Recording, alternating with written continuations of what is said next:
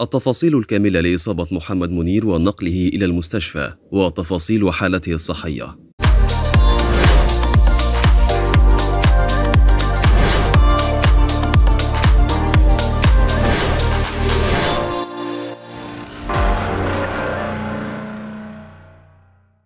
أزمة صحية مفاجئة تعرض لها الفنان الكبير محمد منير مما استدعى نقله إلى أحد المستشفيات بشكل عاجل حيث كان بحاجة إلى رعاية خاصة.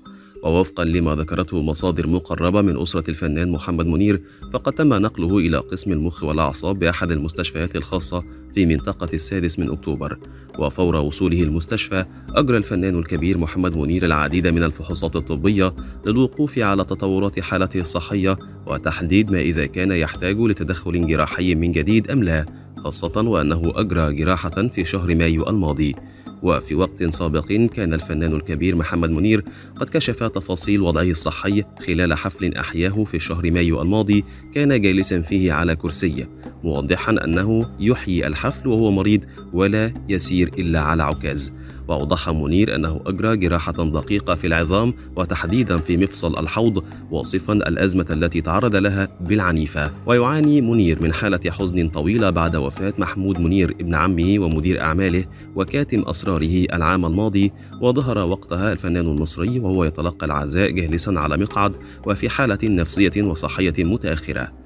ولد محمد منير في قرية منشية النوبة بأسوان حيث تلقى تعليمه المبكر وقضى فترة الصبا في أسوان قبل أن يهاجر مع أسرته للعاصمة بعد غرق قرى النوبة تحت مياه بحيرة ناصر التي خلفها السد العالي في أوائل السبعينيات.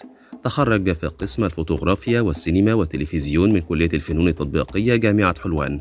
أحب محمد منير ممارسة الغناء كهاون منذ الصغر وكان يحب أن يغني لزملائه خلال فترة تجنيده. بعد تخرجه من الجامعة استمع إلى زكي مراد الشيوعي النوبي فأوصى عبد الرحيم منصور الشاعر المعروف آنذاك بالاستماع إليه وكبرت الدائرة لتشمل أحمد منيب الذي لم يكن أحد قد سمع به فأخذ في تدريب منير على أداء ألحانه وألحان غيره النوبية. ثم بدأ في الاستعانة بكلمات معرفهم من الشعراء عبد الرحيم منصور وفؤاد حداد كانت البداية الحقيقية بانضمام الموسيقي هاني شنودة الذي أضاف للمجموعة كثيرا بألحانه وتوزيعاته غريبة الطابع بل أنه جلب أعضاء فرقته الحديثة وقتها فرقة المصريين ليرددوا ويعزفوا أغاني الألبوم الأول الذي لم يصادفه النجاح.